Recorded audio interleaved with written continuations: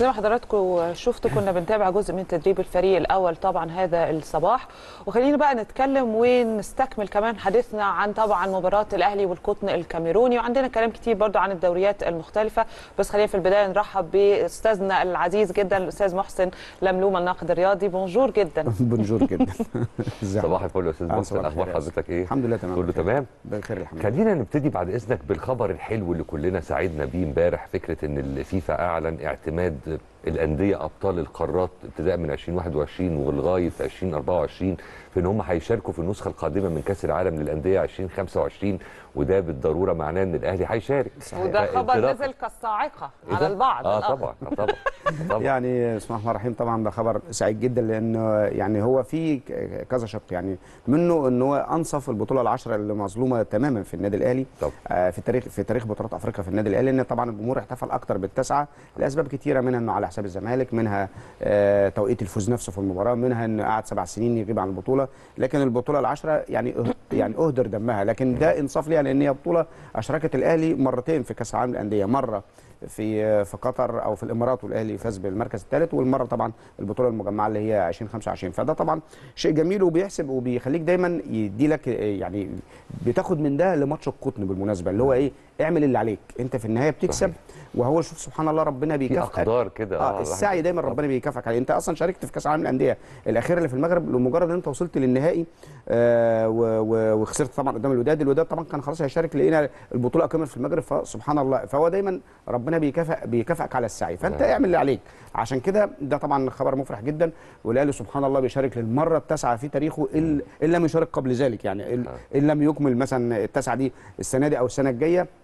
فطبعا ده شيء جميل آه، يعني ماشي مع قيمة وقدر النادي الأهلي شيء. محترم جدا لا إحنا يعني بجد حسينا بنفس الكلام اللي حضرتك بتقوله ده في انصاف في الخبر فعلا. حاجة جت. في وقتها بشكل كبير جدا. حتى وإن أحزن البعض زي ما كنت بتكلم أو بنهزر بس. لا لا عادي. معلش. آه منك أنت آه معلش. آه منك. لا لا عادي. طيب. عارف كان زمان الستات كبار السن زمان الجدات يقول لك إيه أنت مريه منك. عارف المصطلح ده؟ أهو. طيب نخش بقى على الأهلي والقطن الكاميروني ومباراة صعبة ومش سهلة ابدا. صحيح. ولا تقبل القسم على اثنين والأهلي لازم يكسبها بإذن الله هيحصل.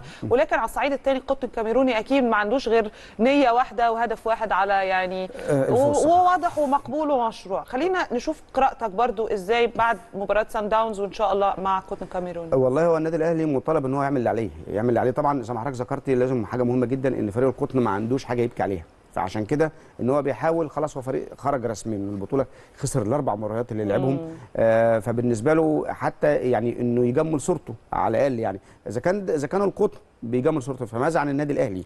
الذي لم يعد التأهل في يديه بس الموضوع ساعات. برضه في المقابل الفرق اللي بتبقى ما عندهاش حاجة تخسرها وتحس إنها إيه يعني خارجة مقهورة من بطولة ما هي مشاركة فيها بالعكس دي ممكن تفاجئك بأداء ما أنا بتكلم على. كده بقول. إنه أنت بتقابل فريق ما عندوش حاجة يبكي عليها فهو فلعبك عادي ولو اتغلب ما عندوش مشاكل لكن هو بيلعب للفوز لأن لتحسين صورته يعني. يعني هو خسر أربع مباريات آه، فيعني الفريق الوحيد اللي خسر الماتشات كلها في في دور المجموعات فطبعا فاكيد يهمه ان. الصورة دي تبقاش- وبعدين إيه يا هتتجمل قدام مين بقى؟ قدام النادي الأهلي. فعشان كده هو يهمه إن هو يعني حتى لو طلع بتعادل هو بالنسبة له ده مكسب. فعشان كده كده كده البعض من قبل حتى انطلاق فعاليات البطولة دي شايفين إن القطن الكاميروني يعتبر هو الفريق الأضعف في مجموعته. إلى أي مدى الكلام ده مظبوط؟ لا لا لا مش مش صحيح. القطن كان لحد وقت قريب كان بيوصل وصل نهائي قدام النادي الأهلي في 2008 والأهلي اتعادل معاه حتى في جروة. يعني هو بس مر بظروف مش كويسة في الفترة الأخيرة لكن هو في في النهاية فريق كويس على فكرة لكن هو الظروف هي اللي ما خدمتهمش. كاميروني فمعناه إن هو فريق فريق قوي. هم كاميرون بالظبط فرقهم آه. بالظبط. فريق كويس والأهلي قبل كده تخطى حتى في في دور الأبطال وفي الكونفدراليه بضربات ترجيح بصعوبة يعني لكن مم. هو آه، فريق مش سهل. لكن هو طبعا كان عنده شوية مشاكل والظروف ما خدمتوش خلاص فالموضوع انتهى بالنسبة له خرج رسميا. فعشان كده المباراة بالنسبة له آه، بيحاول يجمل صورته. كذلك النادي الأهلي انت بقى بعيد عن حسابات بقى التأهل خلاص التي لم تعد بيديك الناد- انت النادي الأهلي العب لاسمك العب لكبريائك. انت لازم تكسب الماتشين. مش مهم تاهلت ما تاهلتش الموضوع منتهي. انت بتلعب لاسمك مش النادي الأهلي. اللي خلاص بقى ما أنا خسرت فخلاص بقى مش هتقلق مش فارقة. لا لا, لا، لا, مش. النادي الأهلي لأن الحاجات دي تاريخ بيتكتب عليك بيتحسب عليك.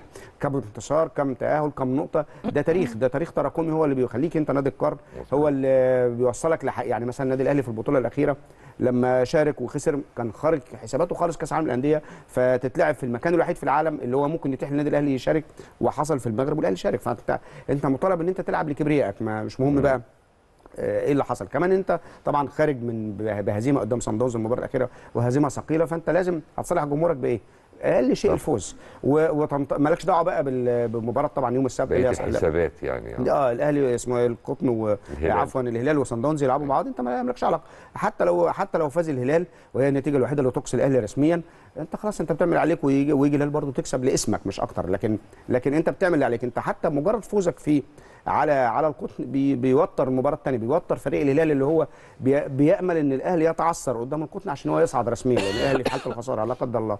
أو التعادل خلاص هو الهلال تأهل رسميا. لكن في حالة الفوز بيوتر الهلال أكتر. فأنت كده بتدي كمان رسائل أكتر. لأن طبعا انت يهمك التأهل رغم كل اللي حصل في النادي الأهلي الأهلي ما خرجش الأهلي لو فاز على القطن وطبعا كلنا عارفين والنتيجة والهلال لم يفوز الأهلي بنسبة كبيرة في النهائي آه، عفوا في في دور ال صح. 16 أيوة. آه، في دور الثمانيه عفوا.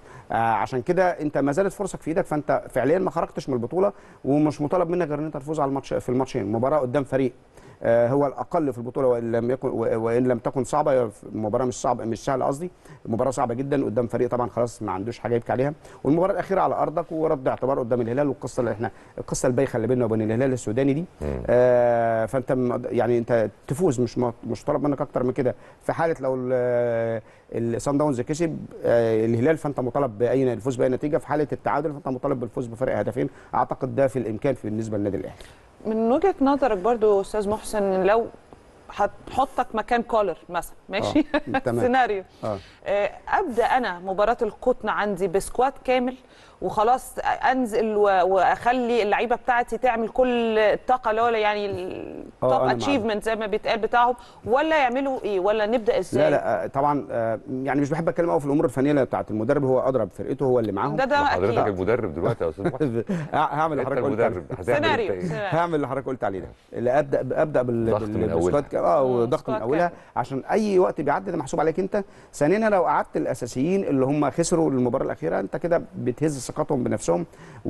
فانت اديهم الثقة لأن هم أكيد عازمين من جواهم إن هم هم نفسهم يصححوا الصورة السيئة اللي ظهروا عليها يوم السبت اللي فات. فاديهم الفرصة ومفيش مشاكل بقيه اللعيبه موجودة معاك على الدكة تقدر تبدل في أي وقت تعمل إحلال وتجديد والتغييرات معاك يعني مفيش مشاكل. فانت ابدأ المباراة دي تخلص من البداية وليست النهاية. في كلام. داير كده بقاله يوم أو يومين بس هو في الأول وفي الآخر كلام social media. ما تقدرش يعني تستنتج حجم المصداقية اللي فيه وصلت فين.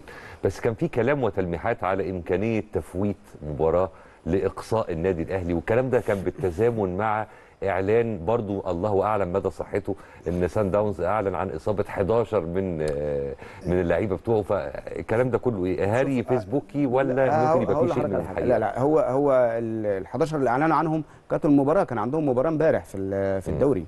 أو في بطولة سكافة مش متذكر لكن هو مش مباراة مش مباراة الهلال. هو هو هو ما سافرش هو سافر النهارده. غالبا سافر النهارده آه. آه، هو ده مش مباراة ال- ال- الهلال خالص. ده هو عنده 11 لاعب آه، ريحهم اللي هو وبالمناسبة قدام فريق يعني ضعيف نوعا ما وكسبوا كمان كسبوا 5-1 فهو م- مش محتاج ما هو عارف حجم ال ال ال الفريق اللي قدامه عشان كده حتى اشرك لاعب عنده 16 سنة. هو بس فكر فكر المؤامرة يعني فكر المؤامرة أصل هو هو عايز أقول لك على على فكرة ده كان من ضمن التفاصيل اللي الفيفا شخصيا اتكلم عنها وهو بيعلن عن الشكل الجديد لكأس العالم للأندية. آه سان داونز مش هيفرط في المباراة لسبب لأن هو مش عشان الأهلي ولا يقصي الأهلي والكلام اللي بنقول عليه عشان هو ممكن يفقد ال- ال- المركز الأول. يعني إيه يفقد المركز الأول يعني هيقابل أحد ثلاثة اللي هم الأقرب للمركز الأول. الترجي التونسي الوداد المغربي. والرجاء المغربي طب ليه أنا يعني أخش من ربع النهائي قدام الفرق ال- الكبار دول؟ طب. أنا لما اطلع اول كصن داونز يعني ممكن اقابل التواني اللي هم اسهل نسبيا أيوة. من ال- الفرق المركز الأول زائد ان المباراه الثانية هتكون على ارضي لها حسابات برضه. فعشان كده هو ليه يفقد ده؟ لأن هو مش في دماغه. هو لو خسر المباراة هي النتيجة الوحيدة اللي, اللي الأهلي رسمي هيبقى الهلال هو الأول. هيبقى الهلال الأول. لا. ما هو النهارده 10 9 آه لصن داونز والهلال. أيوة. لو الهلال كسب يبقى 12 وأنا طبعا. 10 اللي هو صن داونز يعني أيوة. من وجهة نظره. أي نعم هو هيكسب الماتش الأخير قدام القطر بس هو ممكن يحط في اعتبار إن طالما الأهلي خرج رسميا ممكن يبقى في لا مبالاة فالهلال يكسب تاني. يعني يعني هو هو هو يبعد نفسه. مش هقول لك ما ما يكسبش لا ما يخسرش. على الأقل يتعادل. هي دي النتيجة اللي, اللي هي تخليه أول في في كل الأحوال. فهو مش عشان النادي الأهلي. هو بيبص لحساباته هو. فدي أعتقد صعبة. وكلام موجود على ال social media وده طبيعي ما فيهوش مشاكل. لكن بعيدة شوية لأن هيفقد المركز الأول ويفقد الميزات اللي ذكرتها لحضرتك. طيب خلينا نروح بس هاتفيا لزميلنا العزيز فاروق صراحة هو مش هيكون معانا عبر سكايب يعني علشان هو حاليا الفرقة والبعثة بتنتقل بقى وهتسافر خلاص خلال ساعات قليلة جدا من جنوب أفريقيا للكاميرون. خلينا نطمن برضو على التفاصيل ونعرف كل الكواليس. يعني فاروق bonjour صباح الهنا عليك طبعا في البداية. ربنا يوفق البعثة ويوفق طبعا الفريق بإذن الله يروحوا ويرجعوا منتصرين ويحققوا كمان score وأداء رائع جدا. طمنا عن الكواليس وآخر المستجدات. اتفضل. خليني في البداية اصبح عليك أنا والد اصبح على كريم واصبح على استاذنا الناقد الكبير الكبير أستاذ محسن لملوم. وبصبح على كل مشاهدينا مشاهدي ومتابعي شاشة قناة النادي الأهلي في كل مكان. وخليني يعني أنا سمعت كلام الأستاذ محسن لم- لملوم وخليني اكد بالفعل على كلامه بخصوص مباراة فريق ميلودي صن داونز بالأمس فعلا. كان رولاني ماكوينا ريح 11 لاعب من اللعيبة اللي كانت طبعا بتشارك أو شاركت في مباراة ال- الأهلي. وبالتالي هو فاز امبارح على يعني صاحب الترتيب التاسع في الدوري في جنوب أفريقيا بنتيجة خمس أهداف مقابل الهدف. كلام اللي قاله الأستاذ محسن لملوم هو بالفعل الكلام اللي بيثار في الوسائل وسائل التواصل أو المواقع آه، أو وسائل الإعلام هنا في جنوب أفريقيا. إن فريق ميلودي سان داونز ما عندوش هدف غير إن هو يحقق الانتصار على الهلال السوداني لتجنب مواجهة الكبار في الأدوار ال- القادمة. آه، بولاني ماكوينا عنده أهداف كتير جدا إن هو يحقق الانتصار على فريق الهلال السوداني. عايز يحقق العلامة الكاملة إن هو يعني يصعد في الدور الثاني الهزيمه فدي كلها أمور. أنا بأكد بالفعل على كلام الناقد الكبير أستاذ محسن لملوك وبالتالي ال- الكلام اللي أثير عن وجود 11 إصابة من جانب فريق ماميلودي سان داونز أعتقد هو كلام غير صحيح بالمرة. خليني بقى أنا قربت من الصورة بالنسبة لفريق إحنا خلال لحظات. خلاص هنتجه من بريتوريا إلى جوهانسبرج لمطار جوهانسبرج طبعا دي هتكون في تمام الساعة الثانية وال- والنصف والتوجه إلى ال- إلى الكاميرون أو بالتحديد جروة. لكن خليني أقول لك إن بداية اليوم النهاردة كان يومنا بدأ في تمام الساعة الثامنة تناول اللاعبون وجبة الإفطار خفيفة كده في تمام الساعة الثامنة. ثم توجه الفريق لأداء تدريبه على ملاعب جامعة بريتوريا. ده يعتبر آخر تدريب للنادي الأهلي هنا في جنوب أفريقيا. حالة من الحماس الشديد عند اللاعبين. مستر مارسيل كولر اجتمع مع اللاعبين. تقدري تقولي ان دي أطول أطول فترة اجتماع لمستر مارسيل كولر مع اللاعبين يعني بعد مباراة ماميلودي سان داونز اجتمع مع اللاعبين قبل انطلاق ال- المران اتكلم مع اللاعبين رفع من الروح المعنوية بالنسبة للاعبين حمس اللاعبين خلاص نسينا وقفلنا تماما صفحة مباراة ميلودي سان داونز ولكن عندنا تركيز مهم جدا إن إحنا نحقق الانتصار في المباراتين سواء أمام القطن الكاميروني يوم الجمعة أو أمام فريق ال- الهلال السوداني إن شاء الله. طالب اللعيبة بالتركيز في كافة التفاصيل اللي بيطلبها من اللاعبين. الحماس الشديد اللي شايفينه من اللاعبين كل اللاعبين أنا عايز أقول لك بطمنك على الحالة الطبية الحالة الفنية الأمور النفسية. آه، يعني التمرين النهارده شايف روح ثانية شايف حماس ثاني مختلف من اللاعبين. خلاص قفلنا قفلنا قفلنا بالفعل يا نهاوند. خلاص مبا... يعني صفحة مباراة ما بين سان داونز. خلاص اللعيبة عايزة تقدم يعني زي ما قلنا كده عربون صلح مع جماهير النادي الأهلي وبداية آه، مصالحة لجماهير النادي الأهلي. إن شاء الله يكون يعني يوم موفق للنادي الأهلي يوم الجمعة القادم بإذن الله. واللعيبة تكون في كامل آه، تركيزها. عايز برضه أنا عايز أقول لك إن رحلة الطيران هتستغرق ليه؟ يعني آه، تقدري تقولي كده الفريق هيصل إلى الكاميرون في تمام الساعة السابعة وال- والنصف بتوقيت الكاميرون السادسة والنصف بتوقيت ال- القاهرة. آه، المباراة طبعا هتقام في تمام الساعة السادسة يوم الجمعة إن شاء الله. بتوقيت بتوقيت ال- القاهرة. آه، فنقدر نقول يا نهاوند إن كافة الأمور بخصوص فريق النادي الأهلي الترتيبات مع السفاره المصرية تمت على أفضل ما يكون. آه، مستر مارسيل كولر يعني أقدر أقول لك النهارده في المران أو بعد انتهاء المران أول مرة أشوف مستر مارسيل كولر في ابتسامه على وجهه من بعد مباراة الميلودي سان داونز. خلاص يعني هو شايف إن إحنا ما عندناش غير هدف واحد إن شاء الله كويس. إن إحنا نفوز على فريق القطن الكاميروني وده إن شاء الله المنتظر من الفريق بإذن الله نعم إن شاء الله يا فاروق. طيب طمني على الطقس في الكاميرون وقت المباراة وفي نفس الوقت برضو طمنا عن الجماهير. النقطة الأهم والله يا نهاوند اللي أثرتيها إن درجة الحرارة في الكاميرون يعني حاليا بتتكلمي في من 42 ل 44 درجة مئوية فدرجة الحرارة والطقس حر جدا جدا جدا في في الكاميرون وده من الأمور طبعا ال- ال- الفريق طبعا مع ال- يعني المسؤولين النادي الأهلي مع طبيب التغذية المرافق لبعثة فريق النادي الأهلي على كيفية يعني بعض المأكولات طبعا والسوائل اللي هتعوض كمية. الفقد اللي هيفقده اللاعبين في درجة في هذه الدرجة والارتفاع درجة الح- الحرارة. بالنسبة للجماهير خلاص يعني إدارة نادي القطن الكاميروني سمحت وفتحت الأبواب وقررت حضور الجماهير مجانا لهذه ال- ال- المباراة.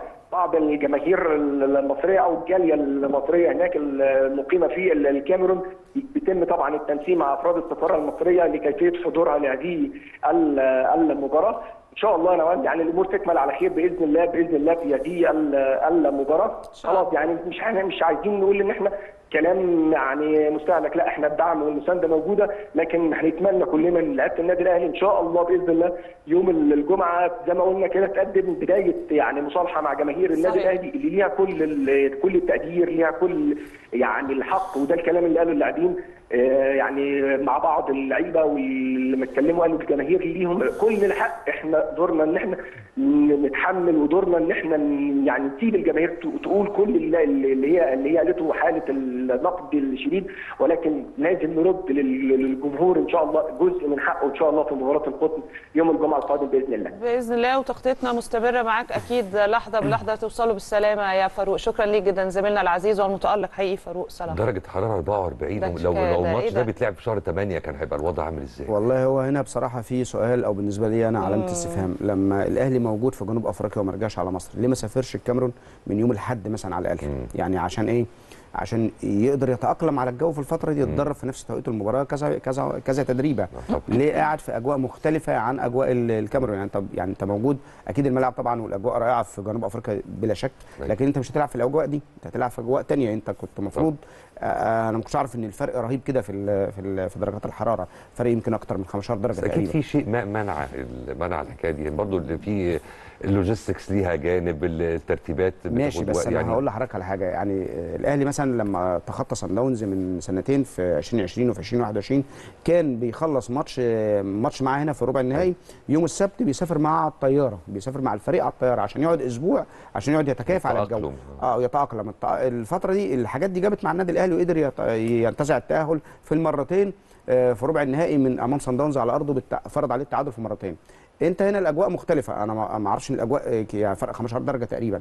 آه، ممكن تكون الإقامة مش جيدة. ممكن الله أعلم. دي حاجات إحنا ما نعرفهاش. لكن هو سؤال علامة استفهام. محتاجين من محتاجين إجابة ليه؟ أنت ليه ما طلعتش من يوم الأحد أو الاثنين على الأقل يعني كنت تاخد يبقى في تأقلم كتير. آه، تأقلم طبعا الماتش مش يبقى الساعة 3 تبقى الساعة 6 كويس إنها 6 كمان عشان تبقى الجو أهدى شوية. ليه ما خدتش فرقتك؟ ما أعرفش إيه الظروف بس هو بالنسبة لي علامة استفهام. مش هيبقى أهدى كتير يعني لو نزل من 44 ل 42 ما رحناش بعيد في الآخر. برضه أجواء قاسية جدا على اللعيبة. بالظبط طبعا قاسية جدا على اللعيبة. وأكيد لعيبة الكاميرون متعودين عليها فأنت مش متعود. يعني أنت ليه ليه تروح؟ آه طبعا. ليه تروح تعمل تدريبة واحدة يوم الخميس في ماتش بالنسبة لك؟ ما لا خيار عن الفوز. يعني حتى كانت سان داونز كان مباراة آه، ممكن فيها الخساره ودي خسرت. لكن آه، آه، آه، لو انت كنت. فزت في جنوب افريقيا على فكرة كنت ممكن تخسر في ماتش القطن مش مشكلة كانت اعكس. لكن انت النهارده بقى عكستها خلاص انت خسرت هنا. لازم تكسب هنا عشان تبقى على امالك وفرصك والحاجات اللي اتكلمنا عليها. فدي علامة استفهام بالنسبة لي أنا مش فاهمها ليه ما راحش من بدري. يعني علامة استفهام بالنسبة لي. ما كانش في إجابة فالإجابة تيجي بالفوز أكيد هيكون آخر في إجابة لده أكيد ده ممكن آه، الجهاز الفني يعلن عنها. إن شاء طيب الله. آه عندي بقى يعني آه رغبة إن إحنا نقلب الملف شوية. آه. وعايز أروح لهالاند امبارح مان سيتي خمسة. هو دلوقتي يعني واخد من ال top 10 تقريبا. ف يعني شوف في يعني إيه؟ لا هو هالاند لا ده ده مش معقول. كائن فضائي يا أستاذ. لا لا بن- ده سفاح. يعني هو هو واحد دخل المباراة وهو يعني المباراة بدأت وهو في المركز السابع في الترتيب هدافين البطولة آه. المركز السابع طلع في الدقيقة 60 هو في المركز الأول فرق آه، هدفين طبيعي، أنا أقرب الناس ليه. اللي هو محمد صلاح بالمناسبة فرق جونين يعني هو بقى كان خمسة بقى 10 ومحمد صلاح 8 تسجيل من هو طاير. على فكرة الصور عاملة بقول لك مش طبيعي والله لا لا, آدم. أنا مع يعني يعني أطرف تعليق سمعت عنه إن هو من قوم بال- عادي بالقدم يعني اليمنى واليسرى وبالراس وبالكتف باي حاجة بأي حاجة الكره معديه جنبه. يعني لا وكمان إيه المدرب مطلعه والله لو سابه الله أعلم طبعا. آه. لا لو سابه يقدر يسجل كمان جونين وثلاثه و... لا لا ده هو يعني يعني لا هو بصراحة شخص خارق للعادة بكل أمانة يعني. واضح إن إحنا إيه دايما كنا بنقول إيه ما حدش هيجيب أرقام رونالدو ما حدش هيجيب أرقام ميسي و- وبيكسروا أرقام قديمة زي صلاح مثلا ما كسر رقم فاولر لا واضح إن في يعني اللي جاي هيكسروا يعني إذا كان الحديث أكتر على هالاند ففي داهية اسمها كفارادونا في في في نابولي. ما كملش 22 سنة لاعب جورجيا آه. كفاراتسخيليا لو الناس بيسموه كفارادونا على أساس مارادونا يعني. لا إن يعني ده جاي ده جاي يعني. هينافس آه، هالاند بس واضح إن هالاند بينافس نفسه في عدد الهاتريكات والحاجات. لا يعني حاجة غريبة يعني. المباراة امبارح ما كانتش مانشستر سيتي ولايبزيج كانت هالاند ولايبزيج يعني. يعني طبعا. ف... هو لأن الماتش امبارح مليان تفاصيل تستحق التوقف أمامها وتناولها بالنقد والتحليل. خلينا نطلع فاصل سريع ونرجع نكمل الكلام انطلاقا من نفس النقطة دي. تمام. اتفضل. يا أهلا بكل حضراتكم من جديد. رجعنا عشان نكمل دردشتنا مع أستاذ محسن لملوم الناقد الرياضي اللي دايما بنسعد وبنتشرف بوجوده معانا في 10 الصبح في الأهلي. وقفنا في الكلام معاه عند هذا الكائن الخرافي العجيب المريب هالاند اللي بيسجل من كل الأوضاع وبكل أجزاء الجسد و... وعامل حاجة عجيبة جدا. آه صحيح. يعني هو هو يعني حت يعني ما قلت لحضرتك امبارح ما كانش الماتش ما كانش مانشستر سيتي ولايبزيج كان هو هالاند. ولايبزيج. يعني حتى لما تيجي يعني إيه الماتش بعد ما هو خرج يعني يا دوب. دي بروين جاب جون وبقت ال- يعني اهو يعني عمل شكل يعني. اكتشفنا إن في لعيبة أخرى في يعني في, في ناس تانية في الماتش. لكن هو هتضايق. بصراحة في حتة تانية يعني حتى لما تشوفه يعني أنا عجبني حتى بال- الاستوديو التحليلي هو آه، جايبينه بعد- هو في النهاية بياخد اللي بيجيب هاتريك بياخد كورة. فقال لك يا جماعة المفروض تدوا له كورتين ده المفروض. بيدور على كورة تانية. طبعا. لا فهو واضح إن هو إحنا داخلين عصر جديد جدا بعد طبعا أفول نجم طبعا رونالدو و... و... وميسي. واضح إن إحنا مع السن الصغير هو ده هي, هو. هي الغزارة التهديفيه اللي عنده هي اللي جدا. قوي للأنظار آه ما فيش فرص بتضيع يعني خالص ده يحل مشاكل الأهلي كلها مش طبيعي شكل والله الكرة العظيم. المصرية كلها بصراحة مش الأهلي بس. فده ده يعني بسم الله ما شاء الله ده في حتة تانية وهي دي يعني لحد النهارده هو النجاح هو نجاح هالاند مش مانشستر سيتي. سيتي. بيتعثر في البطولة دي حتى هم يعني دايما دايما ابدا بيتعثر بيصطدم بقى بريال مدريد والحاجات اللي إحنا عارفينها. وتأهله منطقي جدا حتى يعني لو لو كان كسب 1-0 كان هيتأهل. لكن آه ال- النجاح هو لهالاند مش أكتر يعني. زي ما قلت لحضرتك إن هو دخل الم- المباراة في المركز السابع خرج من المباراة بعد 60 دقيقة في المركز الأول. وما أعتقدش حد يقدر ي- ي- يحصله إن أقرب الناس ليه محمد صلاح بثمان أهداف موقف ليفربول للأسف صعب جدا وهيواجه النهارده ريال مدريد على أرضه مغلوب على أرضه 5 3 فالقصة صعبة لا جدا. ليفربول خلاص في حتة بقى بعيدة قوي يعني آه، وللاسف حزين جدا. للأسف يعني. آه شيء حزين ما أعرفش. وبعدين هو كمان تبص تلاقي مثلا اتغلب 5 3 قدام ريال مدريد انهار. يعني هو كان متقدم 2 0 تلقى خمس آه. أهداف وبعدين راح إيه كسب مانشستر يونايتد في مباراة خرافية. آه. آه 7 0 بعدين جه اتغلب بورنموث 1 0 إيه اللي حصل ده؟ هو في إيه؟ ما ما يعني هو هو غريب. جدا. لا لا هو هو غريب جدا السنة دي. آه ما أعرفش الفريق ماله. يعني آه قلنا خلاص يعني إيه آه أنا واحد من الناس عايز صلاح يفضل في ليفربول بس بشرط انه يشارك السنة الجاية في دوري الأبطال عشان دي أرقام بالظبط. لكن آه لما يبعد عن المربع الذهبي لا الدنيا صعبة. وضع هو طبعا في المركز السادس. كان قريب إن هو يصل المربع الذهبي لكن بهزيمته الغريبة جدا قدام بورنموث. أيوة. النهارده في موقف صعب جدا جدا جدا طبعا. قدام ريال مدريد لأنه مش مطالب بالفوز. ده مطالب بثلاثية نظيفة. آه عشان يتعادل مش طبعا ده صعب جدا صعب لأن طبعاً. ريال مدريد يعني لو اتكلمنا عنه هنلاقي ريال مدريد في دوري ابطال أوروبا حاجة وفي أي بطولة تانية في العالم حاجة. تانية يعني هو يخسر من طوب الأرض لكن في دوري أبطال أوروبا يكسب أي حد فهي سبحان الله كميته ماشية مع مع ال- مع دوري أبطال أوروبا فعشان كده بيصعب مهمة آه ليفربول اللي في آخر سبع ماتشات قدام ريال مدريد خسر ستة وتعادل واحدة فالموضوع صعب جدا يكاد. يكون مستحيل محتاجين هالاند يجي معاهم عشان أيوة. يسجلوا إعارة. إعارة محتاجين عارف. إعارة لمدة مباراة بصراحة يعني أيوه طب صحيح لو رحنا للدوريات الأوروبية ودوري الأبطال وتألق الأندية الإيطالية آه. تحديدا والدوري الإيطالي اللي ابتدى يعود مرة تانية شوية صحيح. وتألق نابولي وغيره يعني آه، الواحد سعيد لأن الكرة الإيطالية زمان كانت كرة جميلة بتكلم كمان آه. عن 90 التسعينات صحيح تحديدا التسعينات كانت هي أجمل آم، كوره في العالم وبعدين تراجعت بشكل هي كبير ترجعت ودلوقتي آه ترجعت شوية للأسباني وبعدين دلوقتي فرق كتير جدا آه. آه. الدوري ال- الإنجليزي مع كامل احترام الدوري أقوى أقوى من كأس العالم أقوى من أي بطولة في العالم لكن بصراحة المتعة كلها في الكاليتشو يعني الدوري ال- ال- إيطالي. الدوري الايطالي بصراحة ده يعني رجوعه أي فرق يعني إيه هتلاقي اللي بيشجع ميلان فرحان لوجود مثلا نابولي والإنتر اللي بيشجع إنتر فرحان لوجود لا هي طبعاً. بصراحة الدوري الإيطالي هي متعة كرة القدم الكاليتشو متعة كرة القدم فهو إنه يبقى موجود بصراحة ده ممتاز جدا وإن الثلاثه موجودين يمكن آه عايز أقول لحضرتك معلومة إن إيطاليا فيها مدينة ميلانو المدينة الوحيدة في أوروبا اللي فيها ناديين خدوا دوري أبطال. يعني آه، الاسبوعين خد سبعة والإنتر ميلان خد ثلاثة يعني. يعني كان قريب من الإنجاز ده مدينة مدريد الإسبانية لما أتلتيكو مدريد اتأهل مرتين للنهائي واللي مرتين خسرهم آه، ضد ريال مدريد. لو كان كسب واحدة فيهم كان على الأقل هيبقى زي عادل مدينة ميلانو. فمتعة الكرة موجودة في آه، آه، في في الكرة الإيطالية وإن كانت طبعا قوتها وجبروتها موجود في إنجلترا ده موضوع منتهي. لكن المتعة موجودة في إيطاليا فإحنا أكتر الناس سعداء بإن موجود آه، خلاص تأهل طبعا القطبين الإنتر والميلان. والنهاردة اكلينيكيا آه، آه، نابولي موجود لأن نابولي السنة دي حالة حالة خاصة جدا. طيب بالنسبة بقى لباريس سان جيرمان وخلي دي تكون يعني نقطتنا الأخيرة. لأن الوقت خلاص بيطير دايما في وجود حضرتك. آه. آه باريس سان جيرمان نقدر نقول إن هو إلى حد كبير قوي خلاص اكتفى بالدوري المحلي الدوري الفرنسي لأنه ودع. بالفعل دوري الأبطال. صحيح. من هذا المنطلق في رأيك مين بقى اللي هيحصل على لقب دوري الأبطال؟